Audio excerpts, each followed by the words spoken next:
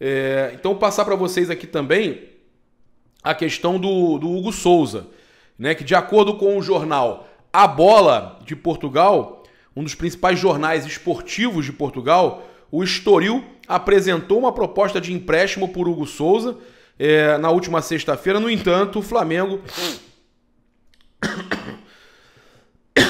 No entanto, o Flamengo recusou a oferta, já que não pretende abrir mão do goleiro, tá? Então o Flamengo. É, é a, a, notícia da, da bola tá um pouco equivocada. Não é que o Flamengo não queira abrir mão do goleiro. O Flamengo só aceita venda, né? Pelo menos o que passaram pra gente é que o Flamengo prioriza a venda. O Flamengo não pensa né, é, em emprestar o jogador. E eles queriam empréstimo com opção de compra, né? E aí não, não, não, não interessa ao Flamengo fazer esse tipo de operação é, com o Hugo Souza. A gente também teve, é, desde a chegada do Dorival Júnior, o Vitor Hugo se destacando aí no time alternativo do Flamengo, alternativo aspas, né, o time que disputa o brasileiro. E cada vez mais em evidência é, ele que tem apenas 18 anos já tem um sonho aí em mente disputar os Jogos Olímpicos de Paris em 2024.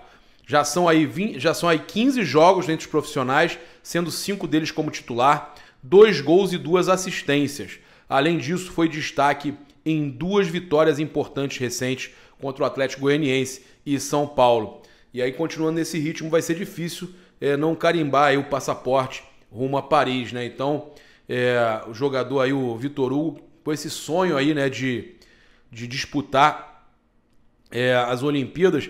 E também tem a situação, outra situação envolvendo a França, né? O, o Lyon, né? Que tá de olho aí no, no Vitor Hugo e vai ser muito difícil o Flamengo conseguir segurar os dois, né? Ou eu acho que ou o João Gomes ou o Vitor Hugo, um dos dois pode acabar sendo negociado. É, e o Flamengo, apesar de ter emplacado a maior sequência de vitórias pós 2019, acumula apenas 9% de chance de ser campeão brasileiro. Né? De acordo aí com os dados do Globo Esporte, é, ele, é, é o que eu falei ainda agora, duas rodadas mudam isso tudo, gente. Mudam isso tudo. O Globo Esporte, segundo os números, diz que o Palmeiras tem 65% de chance de ficar com a taça e o Corinthians tem apenas 4% de chance, tá? É, outro rival carioca é, na briga é o Fluminense, que acumula 10% na mesma métrica. E eles entendem que o Flamengo tem 9%. O Flamengo tem mais chance que o Corinthians, que está na frente. Mas ainda assim é muito pouco, né? É, é, não confiar mesmo no Flamengo.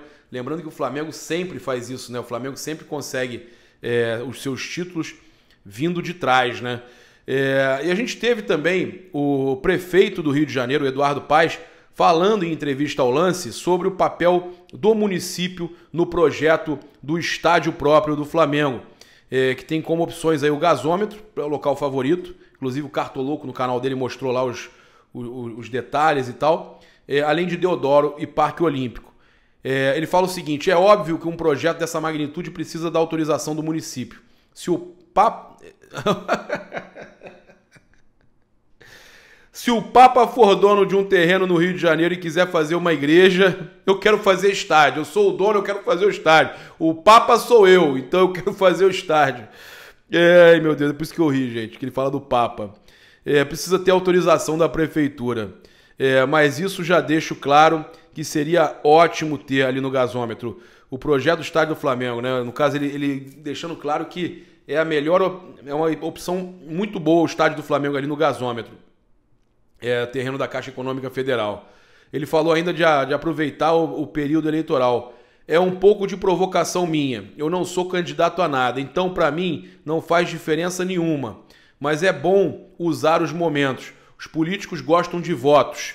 Então é bom utilizar esse momento eleitoral e o comprometimento do presidente para fazer logo isso. É uma provocação minha para ajudar o Flamengo é, ele querendo dizer né, que, que o Flamengo aproveite mesmo esse momento aí é, eleitoral, que, o, que depois disso é difícil o, o, presidente Bolsonaro querer ajudar. Então fica uma alfinetada de lá, uma de cá, que o Bolsonaro falou que, que é, o, não tinha nada, o prefeito não estava fazendo nada nessa situação, que, não, que ele queria que se falasse alguma coisa porque queria aparecer. Aí o, a, a alfinetada de lá para cá, aí de cá para lá também aqui do prefeito do Rio pro, pro Bolsonaro. Então a porrada tá comendo dos dois lados, né?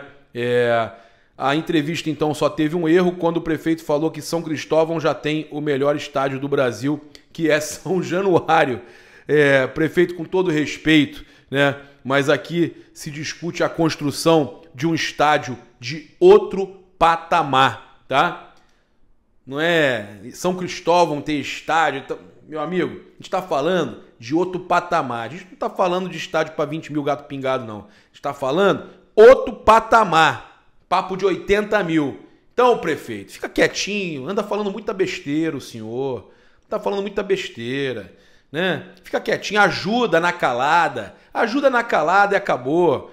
Os caras gostam de ficar aparecendo. Porra,